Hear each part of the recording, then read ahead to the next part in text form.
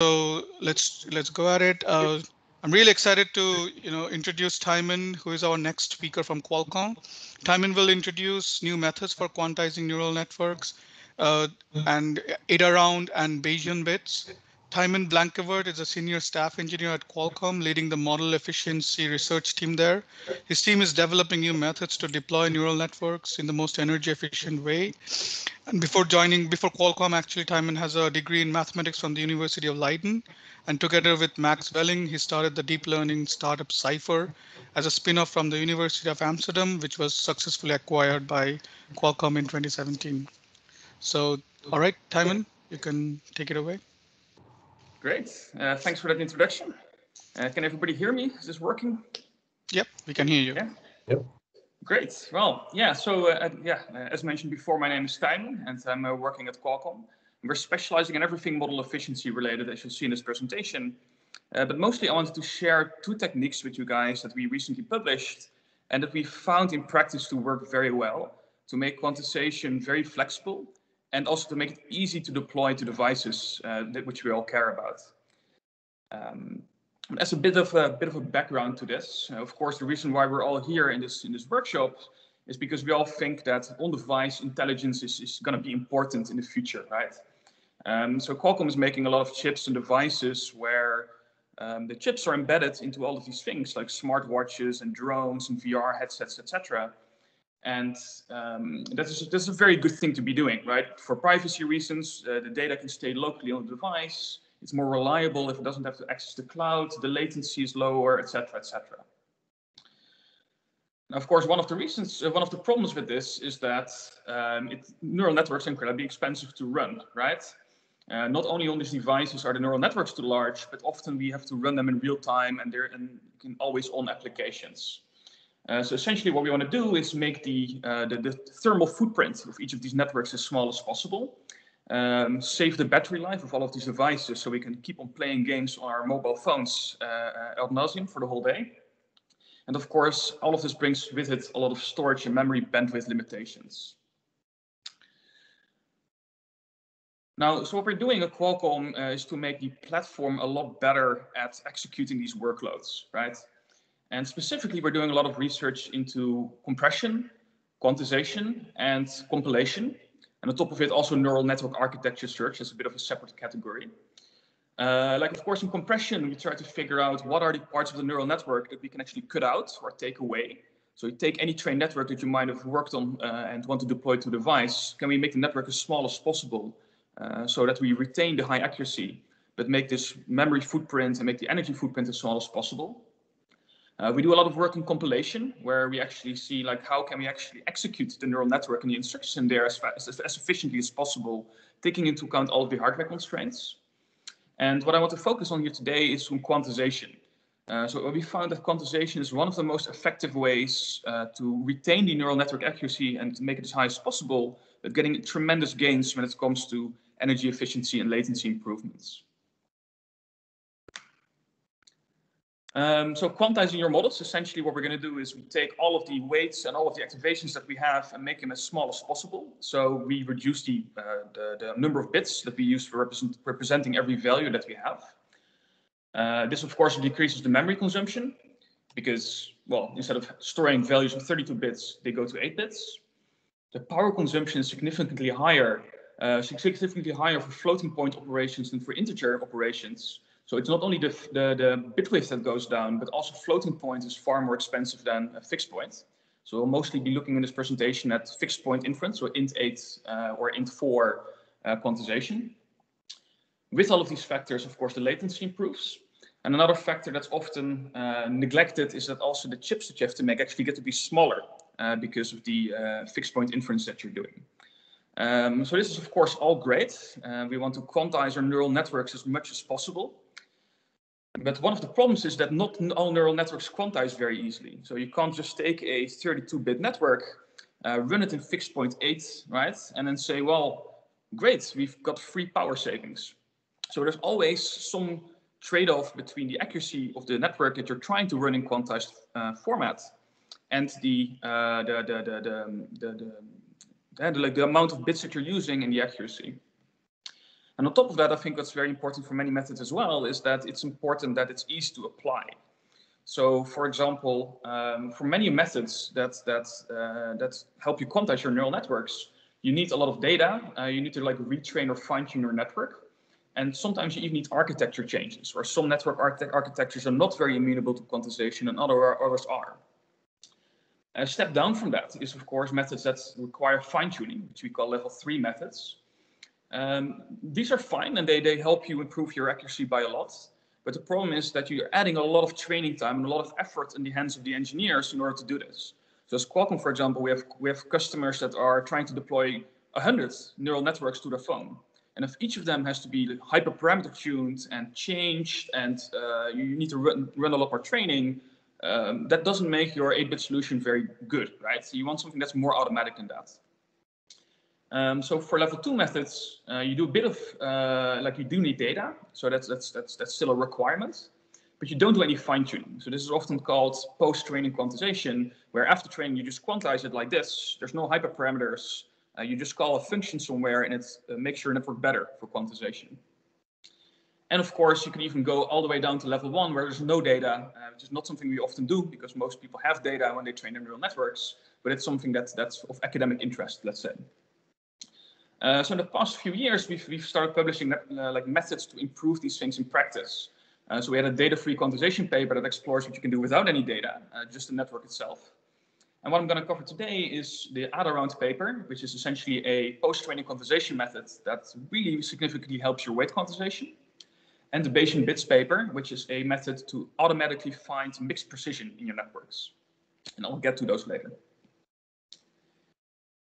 All right, so first off, I want to introduce the AdaRound method. Uh, so this is, uh, the paper is called Up or Down, uh, Adaptive Rounding for Post-Training Quantization uh, by all these lovely folks that you see here on the slide. And the idea is that we start investigating what rounding does in a neural network.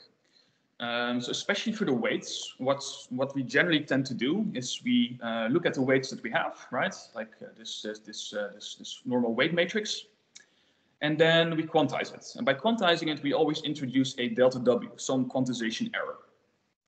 Now, generally how the quantized version of your weight matrix is found is that you um, clip your, your weight values uh, based on your representable fixed point grid, right, with a minimum and a maximum, and you round the weights to the nearest point.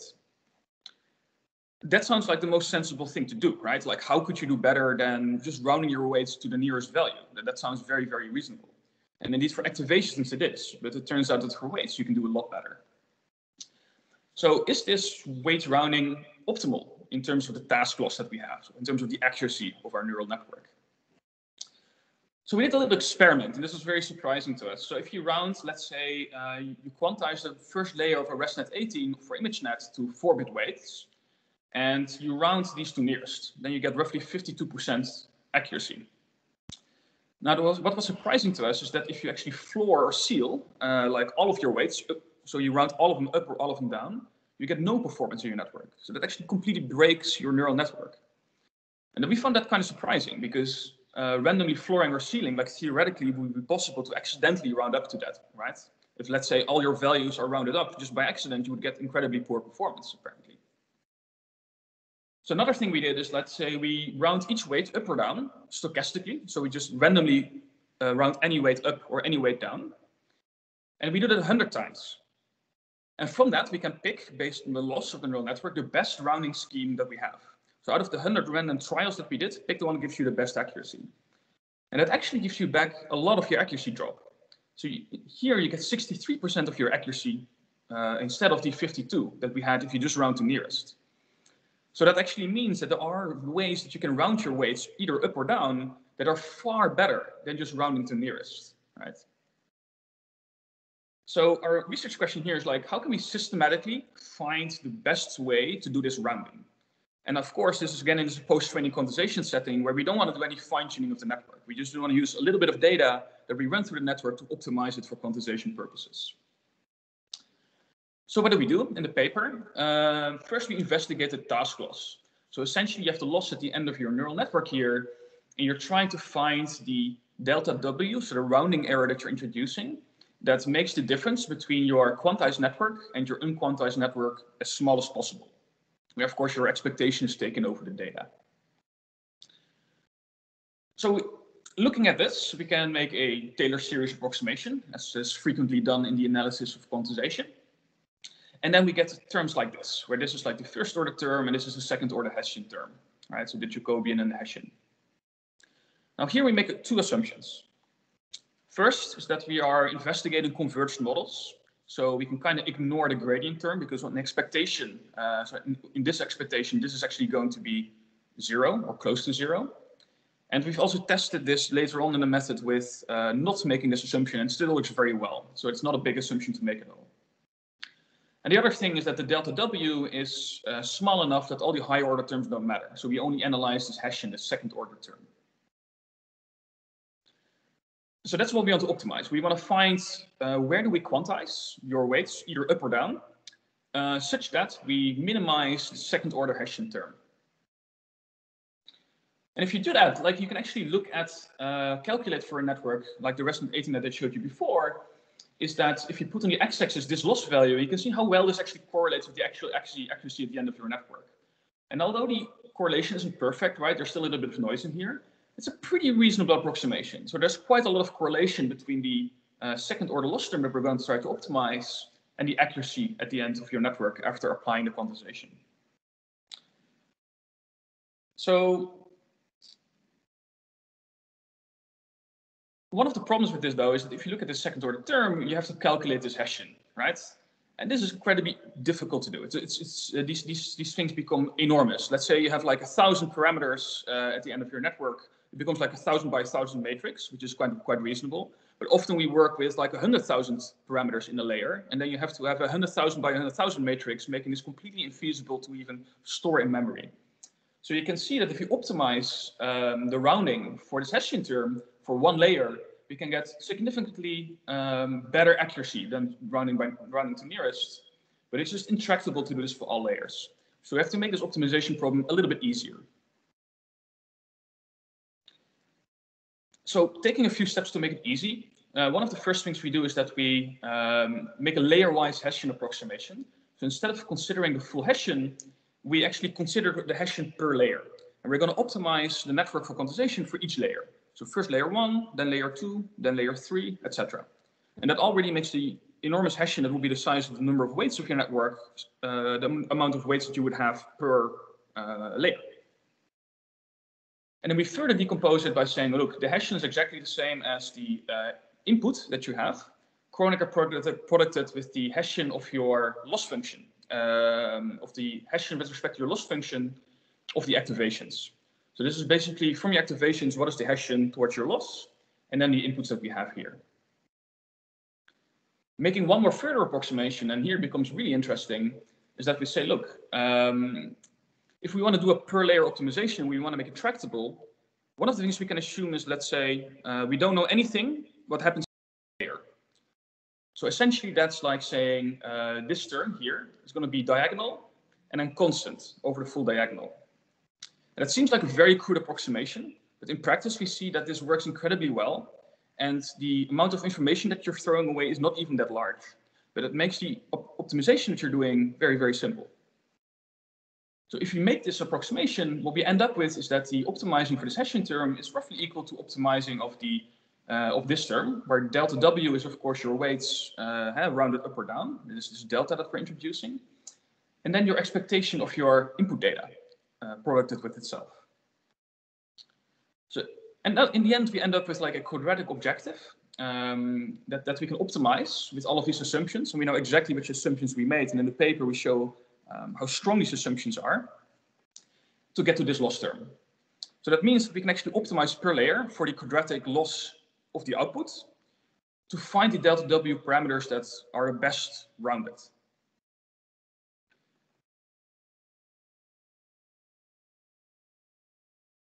Okay, so now we've seen that we take the loss, we make a Taylor approximation, and we make it easier by uh, looking at the quadratic loss term at the end of each layer, and then optimizing your quantization for that.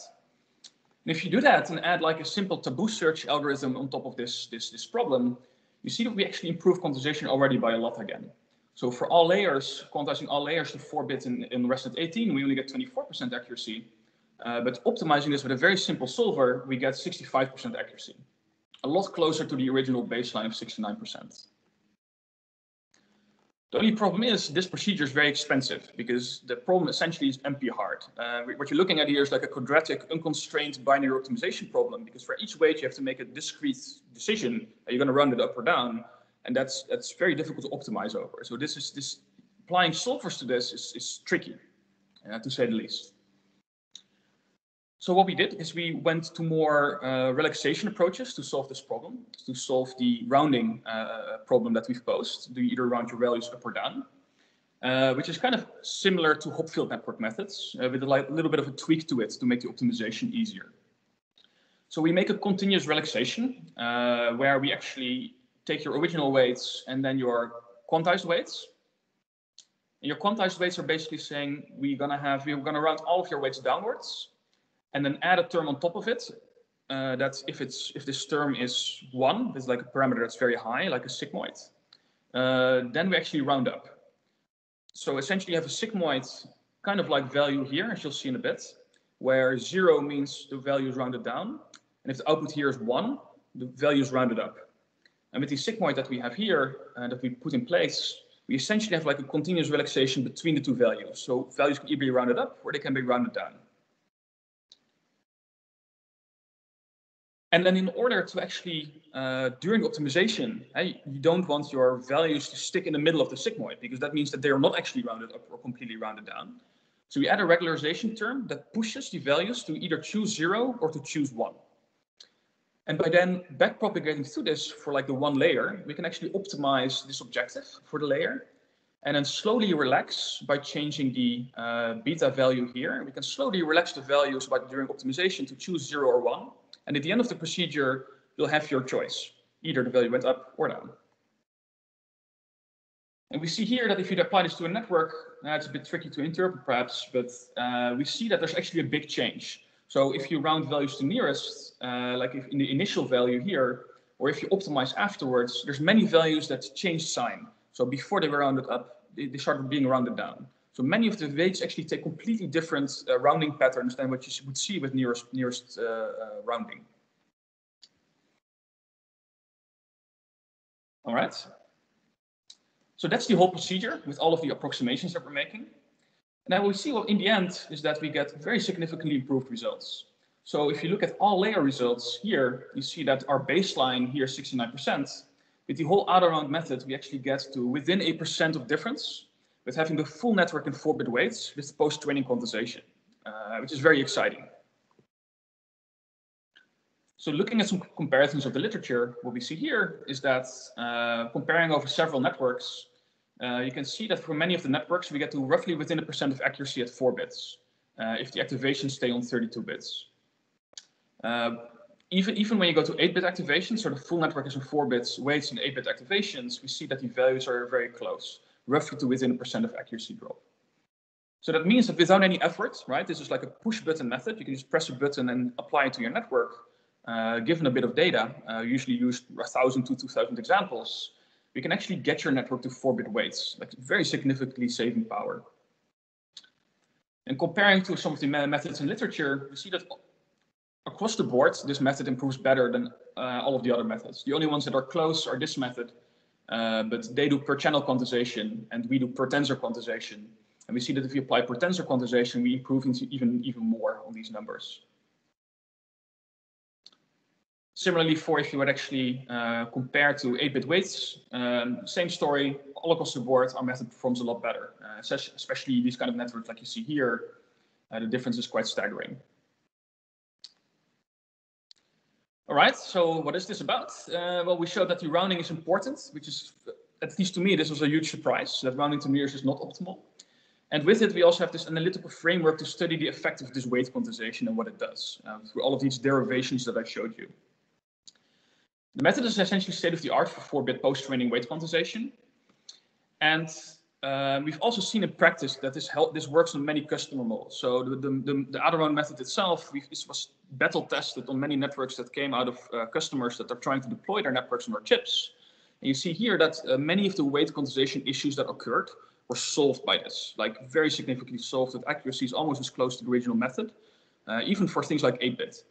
So it's not only that we can get networks to work on 4-bit weights, but also in 8-bit, it, it performs significantly better. It's also very computationally fast. So it's, it's ran generally within an hour or so for any network. And like I said, it has no hyperparameter. So you just turn it on and wait for an hour, go get a coffee, and then your network is optimized for quantization, which is kind of kind of fun.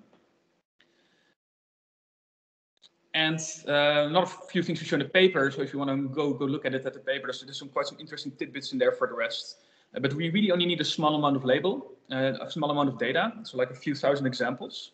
And we even, it's fine if it's unlabeled. So as long as the input data is roughly similar to the data that you would be using for your application, the method works because there's no label information being used. And we've even shown in the paper that you can use data from different data sets. So as long as the domain is roughly the same, like images, for example, uh, we see that the method is very robust to like shifts in domains of what kind of data that you're using. So that also indicates that the method itself is very robust. And the reason for it is because we do this per layer optimization and we kind of like ignore all of the other information of the network. All right, I hope that was um, um, easy enough to, to digest in a short amount of time. So now I want to turn and introduce the Bayesian bits paper, uh, which is another exciting paper that, that, that uh, kind of pushes the boundaries of quantization even further. So what we do in this paper is that we actually look at a, uh, this is a post, like not a post-training quantization method, but a method that uses a lot of fine-tuning to optimize your network. Uh, but what we're essentially looking at is um, the problem that, or the opportunity, I guess, that different tensors in a network and different activations have different noise sensitivities. So for example, we know that the first and last layer in neural networks are often more sensitive to noise being added due to quantization than layers in the middle of the network. So that's something we can exploit, right, for efficiency purposes. So what we're going to do is, um, essentially, we're going to do mixed precision uh, quantization. So we want to have some of the weights in 4 bits or 2 bits or 8 bits and some of the activations in 2 bits or 4 bits or 8 bits, and then find the optimal setting for the bit widths per layer. So some layers hopefully turn out to be uh, um, very sensitive to noise. So you want to keep them in a high bit width. So these would be 8 or 16 bits. And some layers you would want to have in a very low bit width because they're very resilient to the noise that you're introducing. And of course, one of the restrictions that we have is that generally when you're deploying these kind of things to hardware, um, much of the hardware works efficiently in powers of two um, uh, bit width. So you want to have something that works for, let's say, one bit, two bit, four bit, eight bit, and 16 bit. And there's also some other mixed precision methods out there that say, oh, you can use 7.4 bits for this layer, right? But there's no way that you can get your hardware to run all of this. So we consider only uh, powers of two bit widths. Now, the difficulty of this is that if you um, want to explore this data space and try each of the bit widths that you have, the amount of configurations that you could have for your setting the bit widths for each of the layers is, is enormous. It's the amount of bit widths that you want to explore to the power of the number of layers that you have. So we have to do something smart to figure out the optimal bit width setting for each layer. And that's actually, actually what we do with Bayesian bits. It's a method to efficiently find the mixed precision, uh, precision settings. And as a added free bonus, um, it also does pruning of the network automatically. All right, so what is underlying this? Um, this is pretty cool, in my opinion.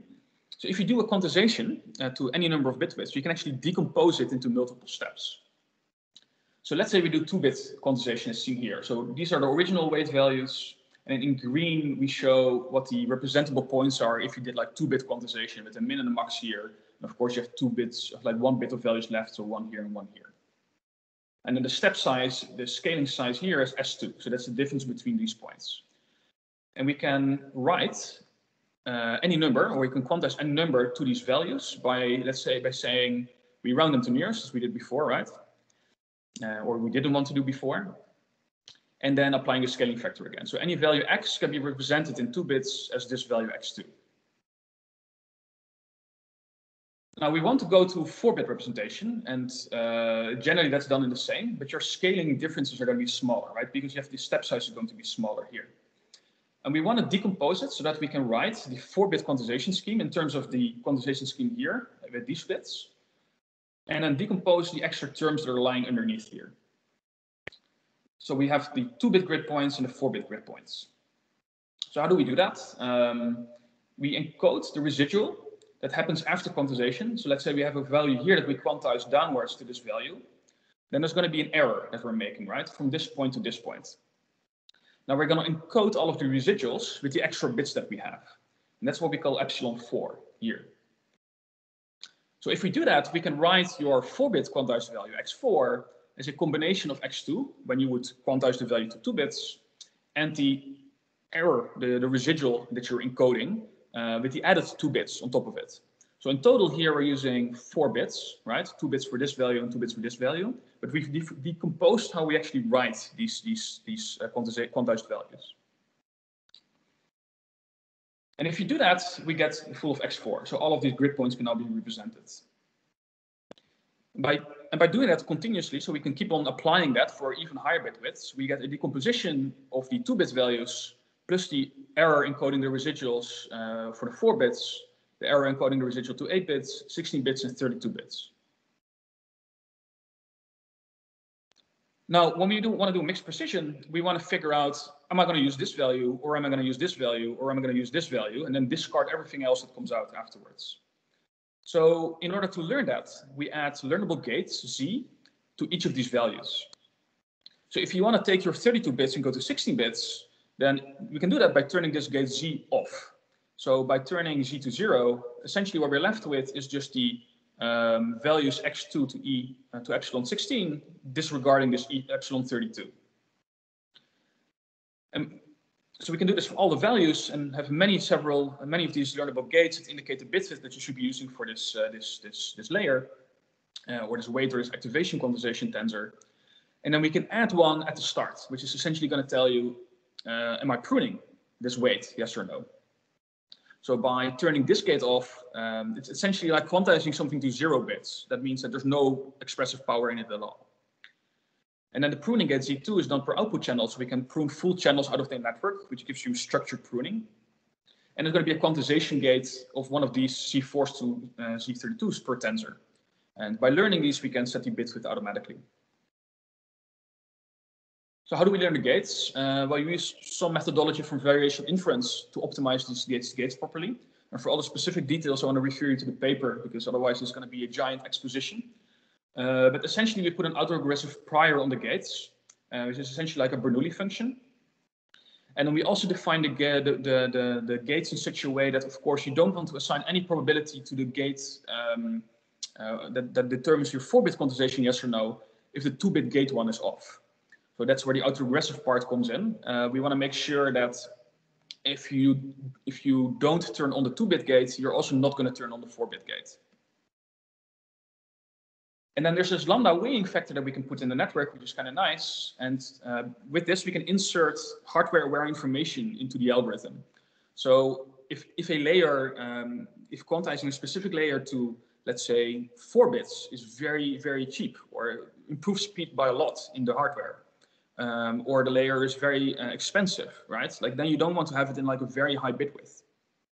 So by adding uh, weighing terms lambda here, based on your hardware knowledge, your information, we can actually tweak the algorithm to uh, be hardware aware, essentially. So it's not something that we'll be doing in the results that I'll show, but it's something that you can do in practice.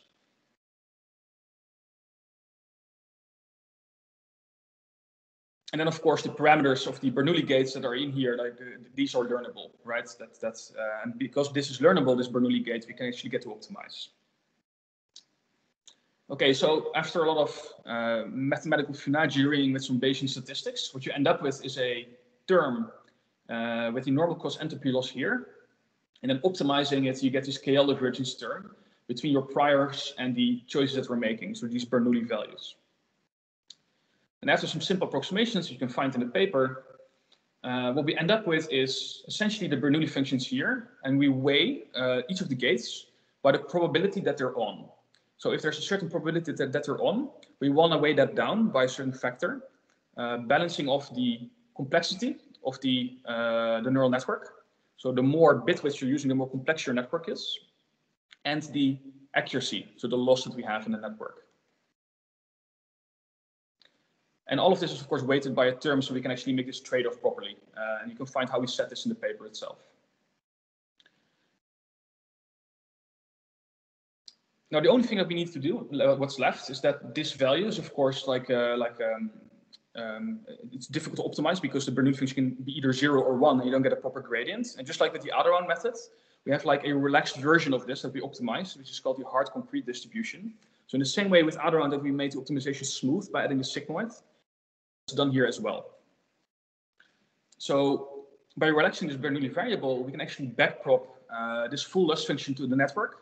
And each of the gate parameters will get a um, boost in terms of accuracy. So if the gate is on, uh, of course, your accuracy will improve but also this loss term will increase because your network is going to be more complex. And by optimizing everything together while fine tuning, you're finding the optimal trade-off between these two, uh, in the end, optimally selling your bit widths. So after this whole procedure, we can actually fix the gates to either zero or one after the training, and then train a little bit further uh, with the chosen network. And this gives you the exact settings for mixed precision that you would want to have. Time check, three minutes, please. Yes It seems like we're completely excellent on time, so that's good. Um, so if you see here, uh, we have these plots with the complexity of the network measured in bit operations on the x-axis and the accuracy of the network resulting in it on the y-axis. And then these lines are like the, the, the, the, full solid line is the full Bayesian bits method. Now what we can, and this line I think is uh, if we only do quantization. So one of the findings that we have is that actually doing the pruning in, in, in the loop doesn't help a lot. So you see that also these lines are the lines where you only do pruning and you keep the quantization fixed. But the learning of the mixed precision quantization boosts you from these lines to essentially these lines. And then comparing it to some of the methods in literature, um, so these are like hypothetical points uh, of the PACT method. I won't go into too much detail due to time, but let's say that these points are not very realistic, and these are like the realistic points reported in their papers. And the real value that we should be comparing to is this, this point here. So this is where the differential quantization method, which used to be the state of the art of choosing mixed precision, uh, lies. And um, this is what happens if you actually rest restrict that to powers of two bit widths that we can actually use in hardware. So you see that our method outperforms these methods by quite a significant margin all across the board, and it's pretty easy to use. I'll skip this. Um, yeah, and we saw the same thing for MobileNet. So generally we see that we improve over the state of the art in mixed precision quantization at the moment, and we also improve over the AdaRound method, which makes a lot of sense. So in conclusion, uh, we introduced the Bayesian bits paper here uh, that automatically helps you choose mixed precision. So if you have some device at, uh, at, at, home or in your company that uh, handles mixed precision very well, uh, please take a look at the paper. And I think you can actually use this method very well to, to optimize your network for that specific setting lastly, one of the last things I want to show before my uh, time is completely up. Um, so we're doing a lot of research in Qualcomm, as I mentioned, and uh, we're trying to get this research out there as much as possible. So these methods like the data-free quantization that were introduced in the past, and we also presented the EMC workshop last year, uh, made its way into the neural processing SDK. So that's the stuff that you use to actually deploy neural networks to a Qualcomm phone. And it also finds its way into the AI model efficiency toolkit. And AdaRound will be in there soon as well. So we have this AI model efficiency toolkit called AIMET uh, that we use to make our models small. So it's an open source project that you can find on GitHub in this link. And um, this is pretty cool. It has a lot of compression tools in it, uh, a lot of state-of-the-art methods to compress your networks, uh, tensor factorization methods, pruning methods, etc., and a lot of quantization methods, like the one I just described in the paper. Um, and these networks uh, can be deployed to any of the devices that you have we've tried to test all of these methods very well. So there's a lot of the state of the art in terms of compression and quantization in there. Supports TensorFlow and PyTorch. And perhaps best of all is developed by professional software developers. So it's completely unit tested. You can just apply it to your network and not worry about it operating yes or no. The interfaces are nice. And uh, I guess the best thing I could say about it is that many of our customers are using it to deploy their networks efficiently and quantize them and compress them. So it's like battle tested in practice. So if you don't want to worry about exactly what method am I using or how should I apply these methods, use this toolkit and it'll it'll help you uh, uh, deploy your, your networks more efficiently.